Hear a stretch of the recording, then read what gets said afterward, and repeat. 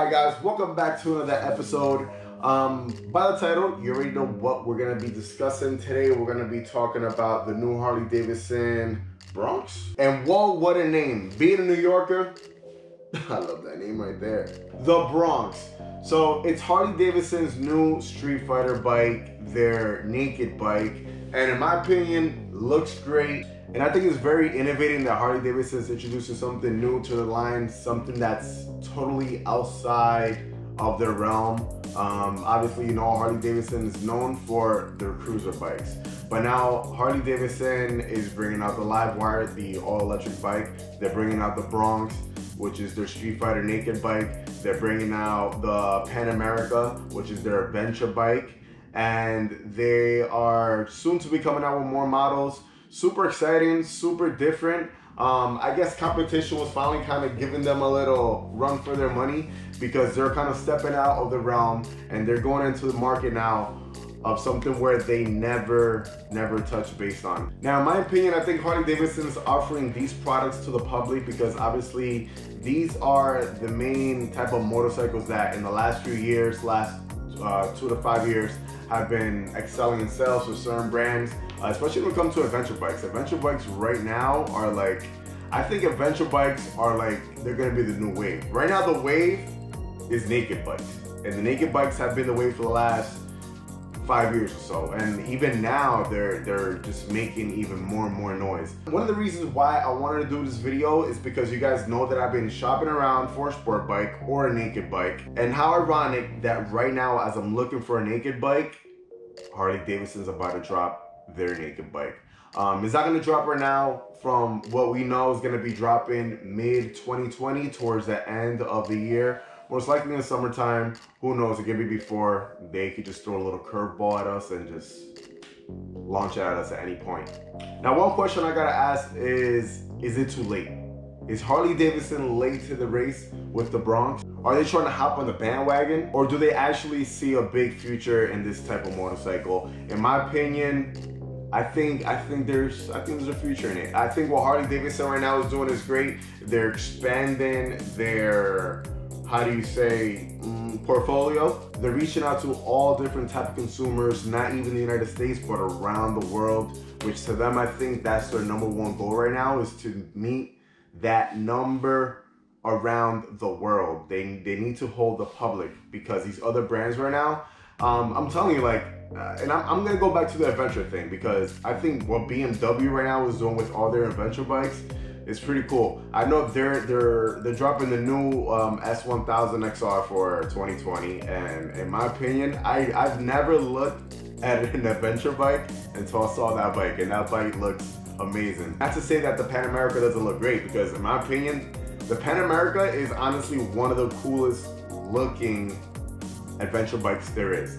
In my opinion, I'm, I'm not I'm not a, an adventure bike guru. I really don't know uh, the whole summer of them.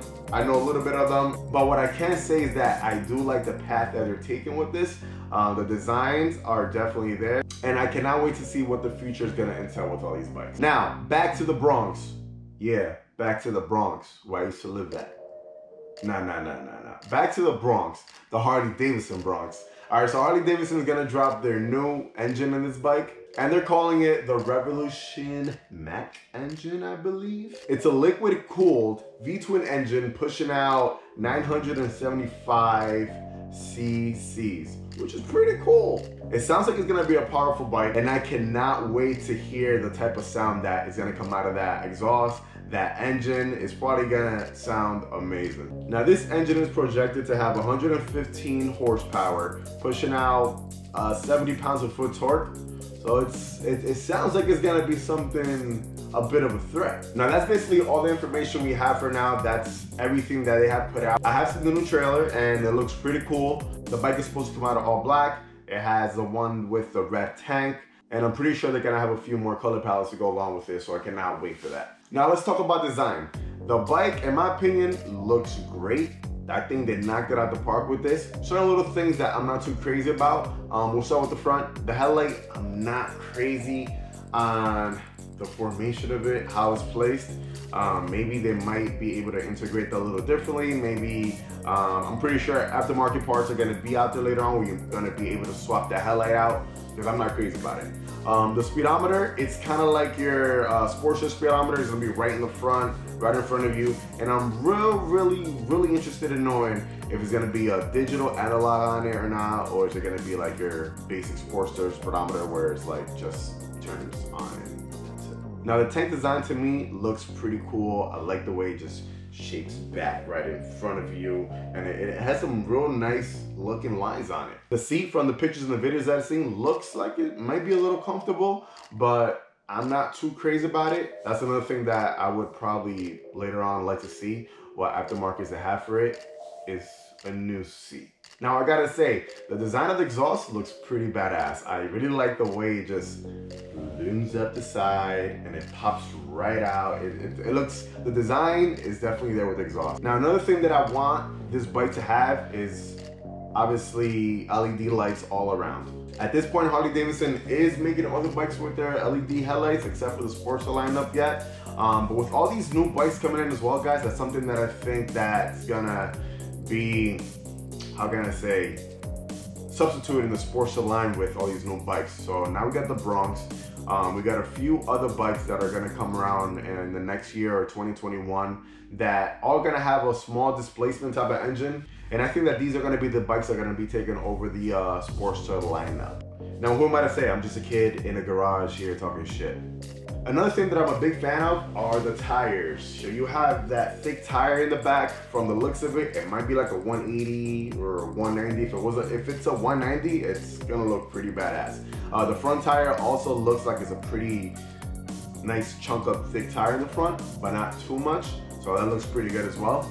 Um, overall, I think the bike looks really good. I just cannot wait to see it in person. December 6th, 7th, and 8th, we have the New York International Motorcycle Show. So I'm gonna be there. Hopefully, all these new bikes will be there. I wanna see them in person.